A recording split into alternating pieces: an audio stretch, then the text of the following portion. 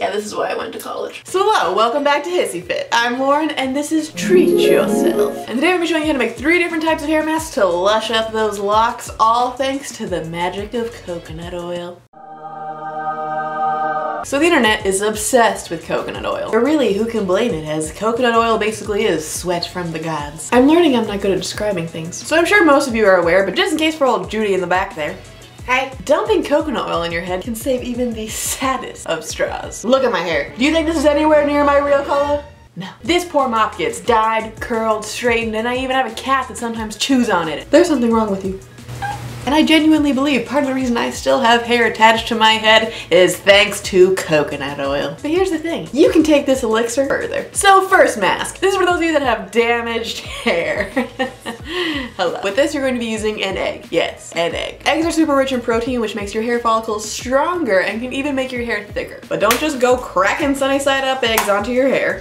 Wait, what? Instead I like to crack one into a bowl with about a tablespoon or two of coconut oil and just mix this up thoroughly. By mixing this really well, your coconut oil will thin out. Or if you want to, you could heat your coconut oil up a bit, but just make sure you cool it before, otherwise it will cook your egg a little bit.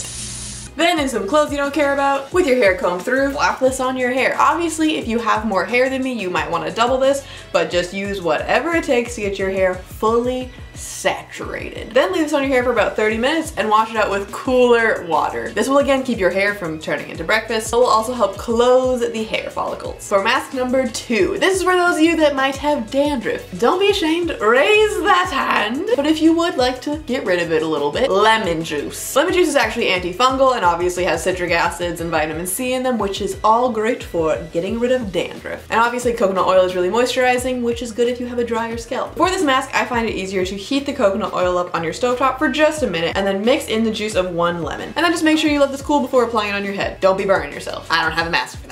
So apply this to your hair focusing on your roots and leave this on for about an hour, then rinse out. And finally, our third mask. This is for those that might be trying to grow their hair out of it. If you are, allow me to introduce you to my friend, Mr. Bear. Honey is actually really good for your hair because it's an emollient. This means it will actually help seal the moisture in your hair, reducing breakage, which is a problem when you're trying to grow your hair. So this mask is gonna be a little sticky and a little greasy, just like my face 80% of the time. But mix one tablespoon of honey into your coconut oil and let both of these heat on the stove top until they're nice and melted. Then just apply this to the ends of your hair, working your way up to your roots and leave on for about 15 to 30 minutes. And then wash this out really well. Your hair might be a tiny bit greasy within the first wash, but I promise it'll go away within the next one. No problemo. And that's everything. I hope that you try these out and your hair is magical and smooth and everything you've ever dreamed of. Thank you so much for watching. Remember to like this video and subscribe to Hissy Fit. Ta-ta!